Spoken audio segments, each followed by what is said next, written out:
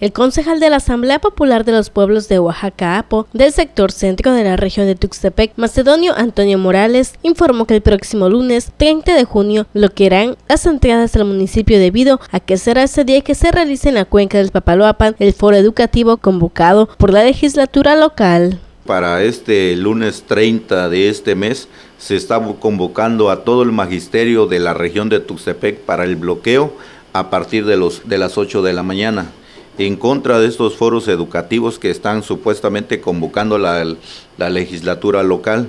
¿Cómo estaremos accionando el próximo lunes? Eh, los sectores de Acatlán y Temazcal estarán en el puente Caracol. El sector Loma Bonita estará aquí en el puente San Bartolo. El sector Ojitlán estará en la entrada de Jardines del Arroyo. María Lombardo y Valle Nacional estarán enfrente de la cervecera del Trópico y nosotros como sector centro estaremos acordonando lo que es la Casa de la Cultura porque ahí supuestamente se va a llevar a cabo este foro educativo.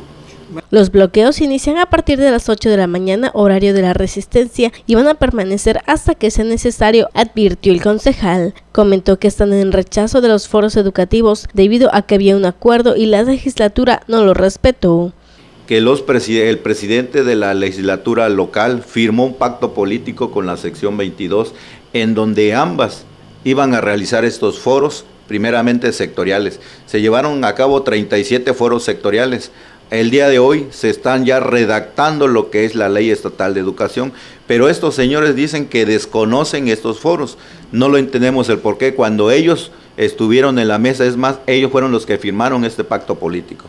Este lunes participarán cerca de 8.000 maestros, pero además se unirán los integrantes del Frente Único de Lucha Full. El día lunes estarán los siete sectores de la región de Tuxtepec. Eh, alrededor de 8.000 a 9.000 maestros van a estar movilizados en este, en este bloqueo que se va a llevar a partir de las 8 de la mañana.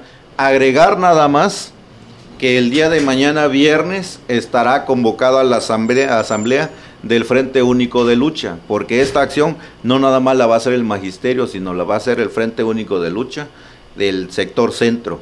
Nosotros el día de mañana como organización social, como colonias, como estudiantes, vamos a estar definiendo en dónde vamos a estar bloqueando. Ya los espacios que yo les comenté con anterioridad, eso lo estará haciendo exclusivamente el magisterio de la región de Tustepec.